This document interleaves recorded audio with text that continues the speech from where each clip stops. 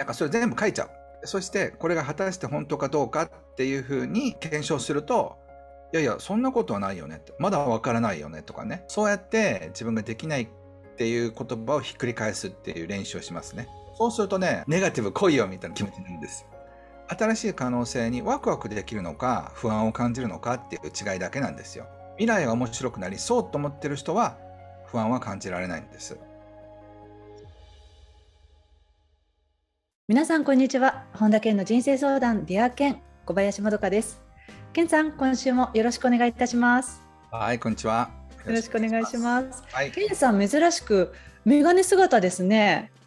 そうそうあのね最近メガネを変えてこうすごくこうあの画面にぴったりなようなその焦点のやつに変えたんですよ。ああの執筆したりしてると目って悪くなりません、うん、ずっとこのスクリーン見てるって。そうです。ね僕比較的大丈夫なんですけど、まあ、それでもそのすごくビシッと合わせたんで逆に眼鏡を取るとねぼんやりするようになったんですよね。ああそうですか。はい。なので眼鏡かけてる方が原稿は読みやすいんですああそうなんですね、はい。はい、えー、ぜひあのこのオープニングではですね、はい、あのオンラインセミナーちょっと伺おうと思うんですけれども、はい、あの先日中国で500万人のコミュニティをゼロから作られたチーチさんという方と一緒に健さんが、はい、えー、これはあの出版に関するセミナーなんですけれども、あの行われて改めてこのチーチさんってどういう方なのか教えていただけますか？チーチさんっていうのはもっとあの OL で読書会をスタートした方なんですよね。でその最初読書会だったんですけどその読書会が全中国に広がってあのなんと会員500万人のコミュニティがを作った人なんですけどいやそれどういうことですか？どうしたらっていう感じですけど、ね、シンデレラストーリーというか感じなんですけど、えー、でそのとにかくこう、まあ、女性中心なんですけどその人が集うみたいなコミュニティになったんですね。えー、うん、でもうすごい強力なインフルエンサーであの僕が中国に行く時にお世話になってるんですけど、えー、そういうあの人と一緒にちょっと僕のねユダヤ人大富豪の教えの本についてえー、テーマに、えー、お話をしてさせていただきました。えーね、今回その出版がテーマだったっていうことなんですが日本とそれから中国の方それぞれに向けてセミナーを配信したっていうことなんですが、はい、あの反応ってどうなんですか？日本の方とまた違うんですか？中国からの反応って。中国の参加者の方たちって。やっぱりねあの中国の人の方がより熱いっていうかコメントもわーっと返ってくるんですけど、ええ、でもね質問とかはほぼ似てますねえあの例えばどんな感じの質問がありましたか、うんうんえー、例えば、まあ、本を書くときにねそのなんかこうその情熱が湧かないんですけどみたいなのが出てきたりだとか、うん、まあそういうこうどうやったらこう文章がまとめられますか？みたいなとかまあまあほぼ日本の読者と同じですよ。へえー、でもこうその違う国の人たち同士が参加してるっていうとケンさんも配信する時ってなんかちょっとこうテンションっていうのは変わりますか？日本国内向けだけではないっていうと。あそうそう。例えばね僕が中国の人たちに対してその中国語の挨拶をね用意したんですよ。例えば、ここにあるからこんな感じで「大家好我是周家弁天健同時也是新富財富理論的創始人」ってこういうふうにあの中国語で挨拶して、であの僕が中国が大好きで中国語を勉強してますとかね、えー、で我的漢语大家听得懂吗っていうのは皆さん僕の中国語分かりますか？って言ったら分かります分かりますって中国でダーって来たりだとか、でそういうので僕はあの中国のことが大好きで毎日勉強してますって言ったらみんな「おお!」みたいなのがいっぱいコメントが流れてきたりだとかそういうあの日本もそうですけど日本語を勉強してる外国人の人がいたら「えー、日本語勉強してくれてるんだ」って嬉しくなるじゃないですか。なりますよ。うん、で中国の人はあの外国の人が中国語をマスターするのは不可能だと思ってるんですね。難しくてですか？難しいから。それがまあまあ流暢に中国語を話したもんだから、うん、拍手大喝采みたいな感じで、え。ー、皆さんにすごいあの盛り上がっていただいて。えー、じゃあもうつかみはばっちりでしたねそういうそう外国の先生でねニーハオぐらい言う人はいるけど、うん、ここまでちゃんとピンとか発音までちゃんとやって勉強してる人はいないっていうふうに言ってくださって、えー、嬉しいですよね。そうでしたか。ね、この今回のこのセミナーは、ミリオン著者になるための秘訣ということで、はい、えー、これはあの今でも健さんの YouTube の方でも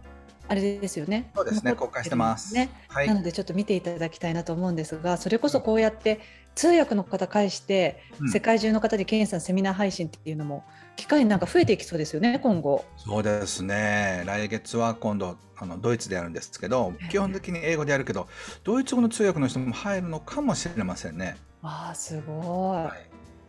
い、ね、どんどんそういう機会がまた増えてきて、まただなのであの話をね聞かせていただければなと思いますのでよろしくお願いいたします。うんはい、えー、それでは本田健の人生相談 Dear Ken 今日も最後までお楽しみください。はい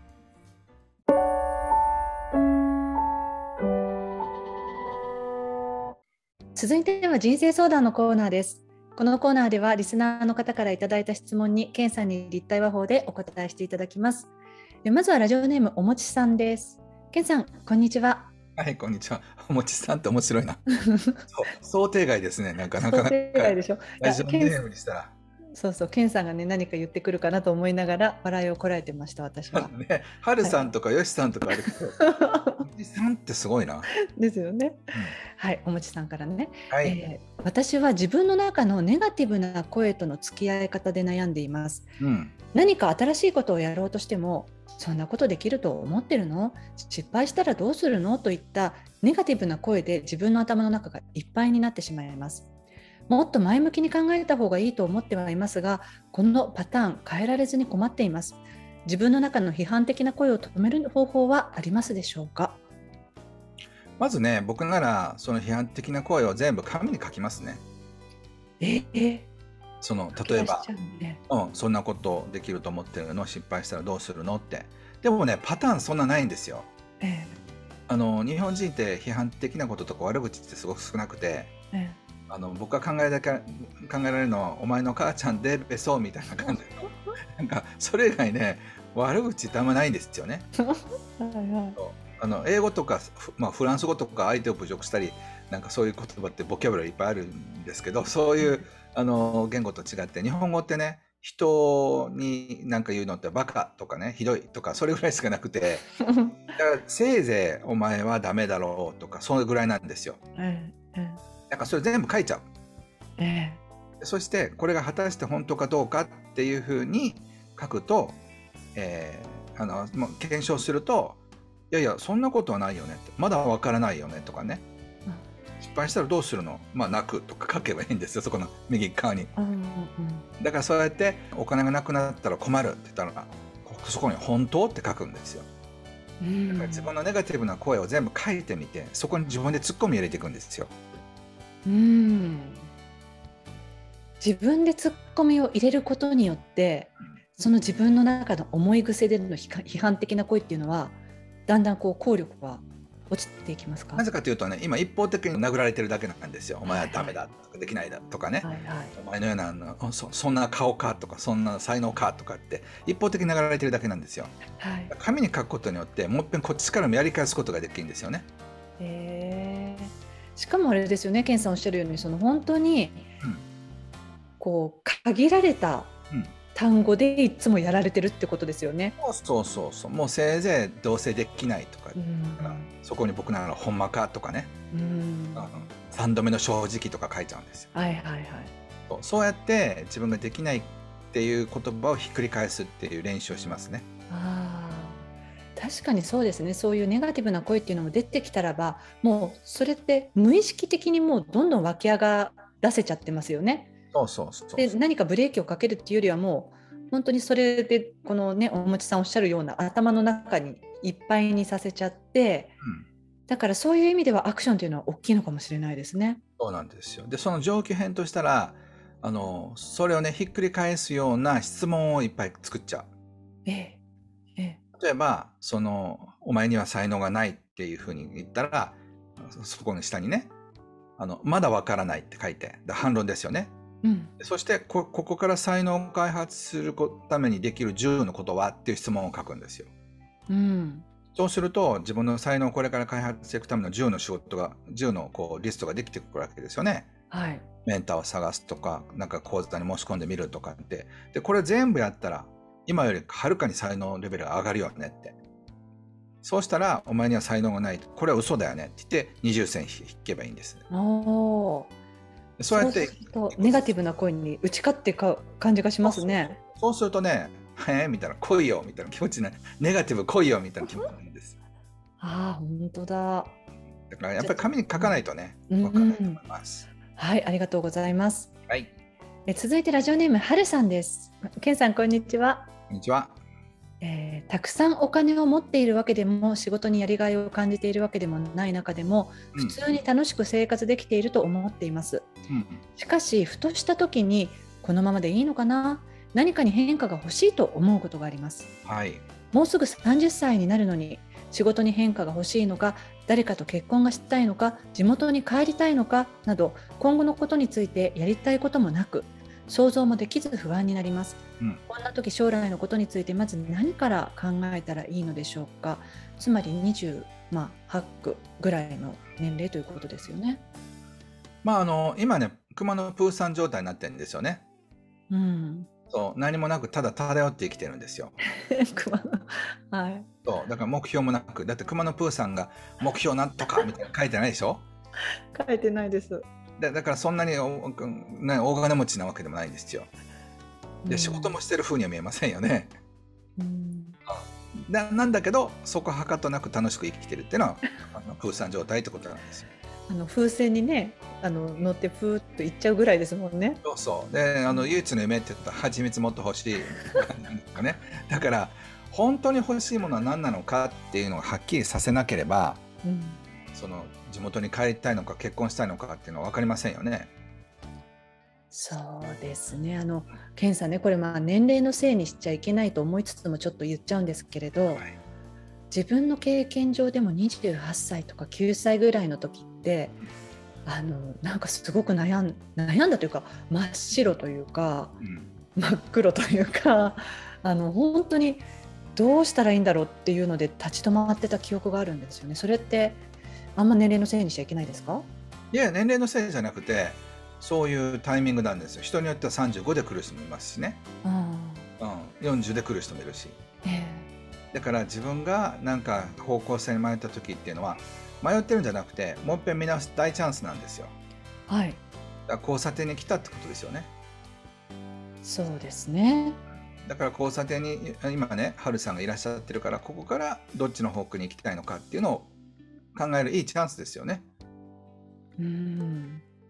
そういうふうに考えたらどうでしょうか？ね、そうですね。でもこういう方多いですよね、きっと。そうでしょうね。だからこれでも、えー、もうすぐ40歳になるのにって50歳になるのに僕だったらあと5年で60なのにどうしたいのか分かりませんっていう気持ちになることありますよ。ありますか、ケンさんも？僕はもっと自由だから、うん、だからヨーロッパに住んでもいいし、アフリカに住んでもいいし、オーストラリアに住んでもいいし、このまま日本に住んでもいいし、沖縄に住んでもいいし、どこだって住めるわけでしょ、うん、で仕事も別にやってもいいし、やらなくてもいいし、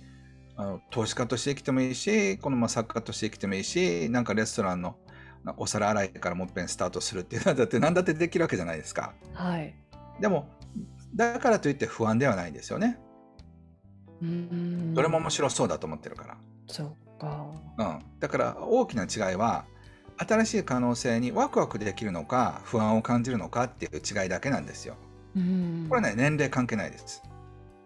そうですよね。だって60歳でね、例えば僕と同じような年齢だとしてももうなんかサラリーマンでもう先が見えてきました先のことを考えると不安ですっていう人もいるし、うん、さあ皿洗いからもっぺんやってみたいなっていうふうに思うとワクワクする人もいるわけですよね。うん、貯金を持ってるから持ってないから関係ないんですよ。うん、未来が面白くなりそうと思ってる人は不安は感じられないんです。そうですよねだから今100エーカーの森から出てねさあどうやってできるのかってなったら急に「はあお金どうしよう」みたいなお金稼いだことないプーさんだからみたいな感じになっているんですよ。だからいよいよ現実でどうしたいのかってことを考えるスタート地点に立たれたってことだと思います。なのでもうおめでとうございます。ここからあなたの人生が始まりますよって言いたいと思います。はい、えー、はるさんからの質問でした。どうもありがとうございました。はい。以上人生相談のコーナーでした。ケンさんどうもありがとうございました。はい、質問もありがとうございました。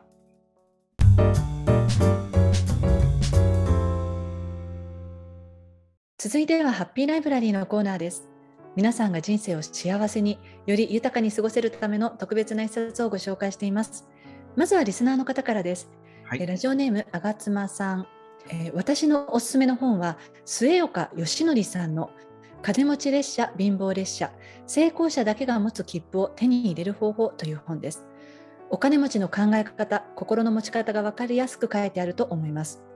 えこの方は不動産事業で成功している方ですが自分を変えたいと思う時は、え年代にかかわらず読むべき価値がある内容だと思いましたということでお送りいただきました、はい、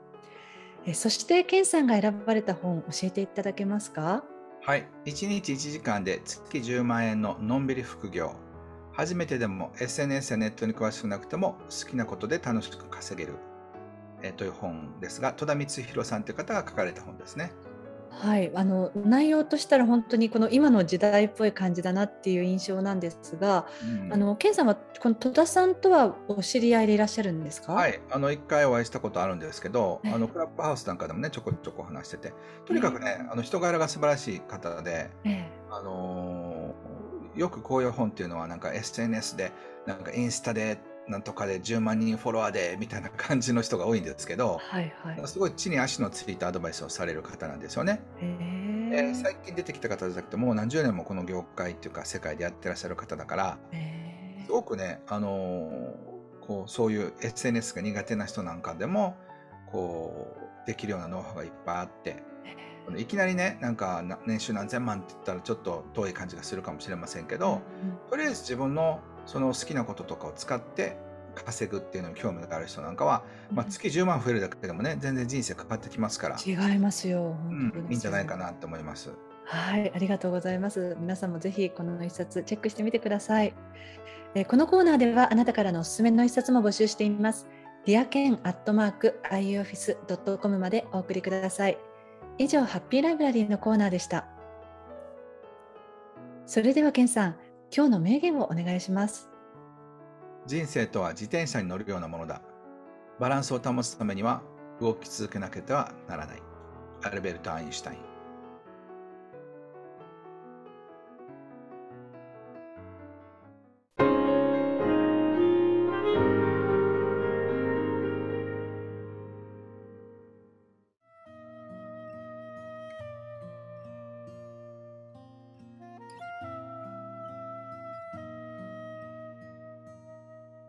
いつか